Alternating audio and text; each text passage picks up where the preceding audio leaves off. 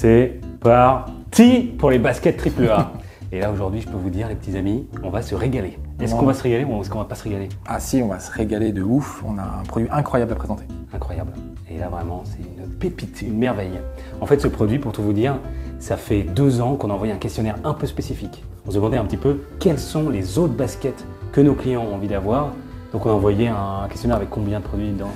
Je sais plus exactement, il y en avait pas mal, un peu toutes les typologies de baskets possibles qu'on pouvait faire sur le marché. Et il y en a une qui est sortie un peu du lot et elle est là devant nous ce matin. Paf On peut vous dire que c'était un max de travail parce qu'en fait pour vous c'était euh, énormément de prototypes, des recherches d'usine, on va parler de tout ça. Exactement, ouais. pas mal de travail, euh, des problématiques clients à résoudre. euh, et voilà, on a tout donné depuis euh, plus d'un an en termes de prototypes et franchement, on n'est pas, on n'est pas peu fiers.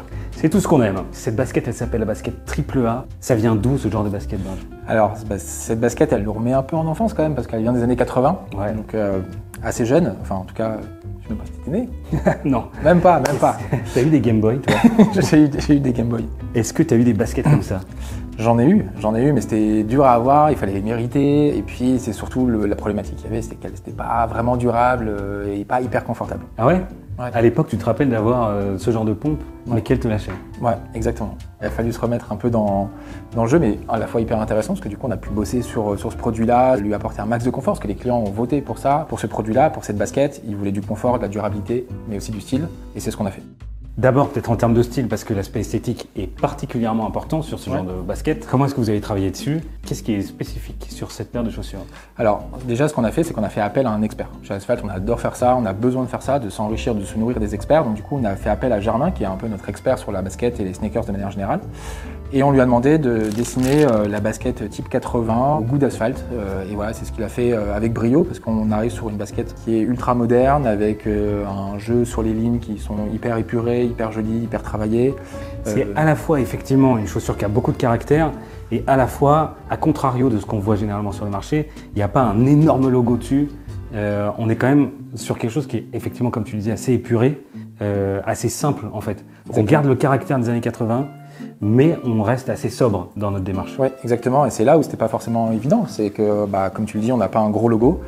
Donc il faut trouver le bon design pour qu'en même temps euh, aller du caractère et en même temps euh, ne pas non plus être trop voyante et qu'elle se- qu'elle soit vraiment parfaite. Donc euh, c'est là où justement notre expert Germain, il a bossé bah, voilà, sur toutes les lignes qui sont là pour à la fois avoir de l'espace mais pas trop non plus. Et on a beaucoup bossé la triple surpiqûre que tu reconnais. Elle vient d'où cette triple fait. surpiqûre Et ben, c'est un élément distinctif des pompes asphalte. Exactement.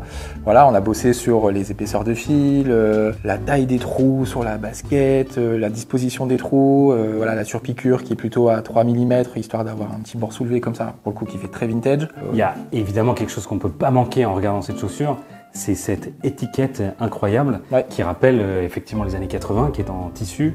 Euh, c'est une étiquette qu'on a fait faire par euh, un spécialiste de la typo, un certain Clément Joannet, qui est un DA de grand talent qui nous a accompagnés là-dessus. Exactement. Donc on s'est accompagné de- d'experts pour tout, tout le design, tout le style, Ouais. pour être sûr d'avoir quelque chose qui respecte un peu l'héritage de cette chaussure. Exactement. Ce genre de chaussure, il faut absolument que ce soit confortable si on a envie de les porter tous les jours. Ouais. Qu'est-ce que vous avez fait? Alors, un peu compliqué de voir à quel point elle peut être confortable comme ça. Et du coup, on a coupé une basket en deux. Tu te rends compte? Tiens, je t'en donne une. Incroyable. Alors, qu'est-ce qu'on a fait pour qu'elle soit ultra confortable? En fait, toute la partie intérieure de la chaussure, elle est doublée avec du mesh et de la mousse. Alors, le mesh, c'est un polyester qui est tricoté, qui est contre-collé avec de la mousse. Et en plus de ça, on a la même chose sur la semelle intérieure. Semelle intérieure qui est courbée au, au niveau des formes du pied. Elle va se faire au pied ou est-ce qu'elle va rester exactement comme ça cette semaine Alors, un peu des deux. Elle va un peu à la fois se faire un peu au pied, mais pas trop non plus, histoire de garder euh, voilà, toute son épaisseur, sa résistance, etc. Juste ce qu'il faut. Et en plus, pour qu'elle se fasse encore mieux au pied, on a, comme l'intérieur qui est ici, avec mèche plus mousse, on a mèche plus mousse sur le dessus.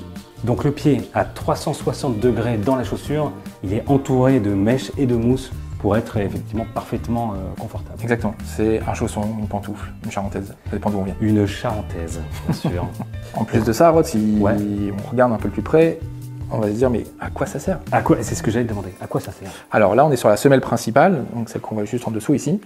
On a comme des alvéoles un peu euh, sur cette partie-là. Ça permet de rajouter aussi du confort. Voilà, ça donne, c'est comme un amorti, donc c'est pas, euh, c'est pas de l'air euh, comme on peut retrouver sur d'autres baskets ou sur des running, mais ça ramène encore plus de confort et d'amorti. Donc en fait, quand on cumule tous les points, je pense qu'on ne peut pas faire vraiment mieux en termes de confort sur cette basket. Effectivement, on a une chaussure donc d'un grand confort, mais alors en termes de solidité, parce que c'est bien beau tout ça, mais si elle craque au bout de trois mois, on sera bien avancé. Exactement, c'est un peu le problème euh, sur le marché actuellement, c'est qu'on a beaucoup de baskets qui sont faites très rapidement, avec des mauvais matériaux. Donc en solidité, il y a plusieurs points qui sont importants. C'est les matériaux qu'on va utiliser. Ouais. Donc là, déjà, on voit euh, la semelle principale qui est quand même une belle épaisseur. Donc avant de l'user, il faut falloir y aller. Est-ce que sur la plupart des sneakers, c'est la même épaisseur de semelle? Non, pas forcément. On a regardé, en fait, on a, en sourçant la meilleure semelle, parce qu'on a, on a pris du temps pour trouver la meilleure semelle, euh, on s'est rendu compte que la plupart des semelles étaient très fines à ce niveau-là et les, les marques compensaient avec une semelle intérieure beaucoup plus épaisse. Euh, voilà. Nous, on a mis l'accent sur déjà une base ici assez épaisse pour un maximum de durabilité et avoir aussi euh, du confort avec un léger amorti. Parce que la semelle intérieure, on peut la changer, on peut en acheter une autre assez facilement. Exactement. Mais la semelle extérieure, une fois que c'est flingué, la foutu. c'est poubelle. Exactement. Ok. Voilà. Beaucoup plus simple de changer ça, mais avant de la changer, il va falloir l'user et je pense que vous pouvez y aller. Ok, très clair. Qu'est-ce qu'il y a d'autre comme matériau? On a le cuir principal qui est un cuir lisse qui vient d'Italie, de chez Poletto. Et pendant 2-3 mois, on a testé euh, les premiers protos, donc on avait trois cuirs différents. On les a testés ici au bureau, euh, des mecs qui ont testé pendant 3 mois, euh, matin, midi, soir. Et au bout de 3 mois, on s'est posé pour voir un peu bah, la gueule qu'elles avaient ces baskets, après 3 mois de port. Et ce qui se passe, c'est qu'il y en a un qui est sorti du lot, il y a un cuir qui est sorti du lot, qui est celui de Poletto, Italie. On dit poletto? Si, Poletto. Poletto, napolitani. Si. Si. Grazie. Et donc ce cuir, C'est tout ce qu'on sait dire en italien. Tu sais dire- Est-ce que tu sais dire autre chose en italien ciao bello. J'espère que les Italiens qui regardent cette vidéo vont apprécier. Pour avoir une chaussure qui soit durable, il faut avoir des matériaux durables et un cuir durable. Donc celui-ci, il a fait largement ses preuves. Là, il en est à quasiment un an de test. Franchement, il bouge pas. Il se patine juste ce qu'il faut pour euh, renforcer le côté basket années, années 80. Et en fait, ça, c'est cool. Donc, une bonne semelle, un bon cuir, euh, le cuir lisse, donc il vient de Poletto en. Italie, et le cuir extérieur? Alors, le cuir sur cette version-là, qui est en veau velours, euh, vient également d'Italie, de chez Mastrotto. Et pour le coup, lui, on le connaît plus qu'un peu parce que ça fait 10 versions des sneakers solides qu'on fait avec. Donc, lui, il a fait largement ses preuves. On n'avait aucun doute que, que c'était le bon, le bon matériau. C'est un cuir qui a déjà fait ses preuves. Ouais, euh, exactement. exactement. Et c'est pas tout, parce que pour avoir une chaussure durable euh, et qui tient dans le temps, il faut avoir une bonne construction. Et quand on la regarde de l'extérieur, on se dit bon, ok, les gars, euh, c'est une construction comme on peut voir un peu partout sur le marché, mais non. Pour avoir une basket solide, on a deux coutures à l'intérieur. Et pas qu'une. D'habitude, il y en a souvent une, Ouais. et pas toujours, euh, qui s'appelle la strobel, qui est celle du bas, Qui coule la tige avec la semelle.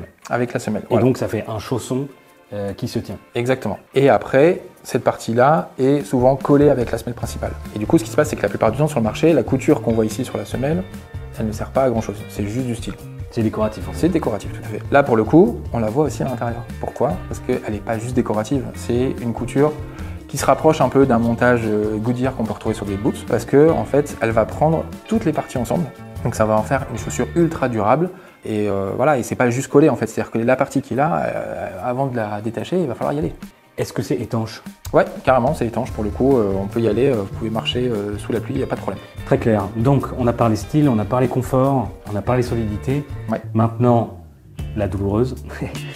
le prix. On sait bien que ce genre déjà de chaussures, ça coûte assez cher sur le marché. Ouais. Ça m'embête un peu d'en parler, je trouve ça un peu limite qu'on arrive, euh, qu'on en arrive là, mais 119 euros.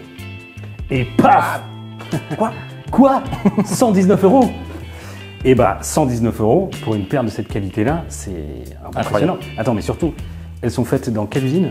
Elles sont faites chez Relix au Portugal. Ok. Donc on a un cuir italien, une usine au Portugal, donc on est quand même très local, une fabrication qui est juste increvable, et tout ça pour 119 euros. Je pense qu'on a un rapport prix, design, confort, qualité, durabilité qui est juste imbattable. C'est exactement ce qu'on essaie de faire chez Asphalt depuis des années. Grâce à la précommande, on vous propose un prix très compétitif pour une qualité exceptionnelle fabriquée en Europe. On espère qu'elles vous plairont. Rendez-vous sur asphalt.com.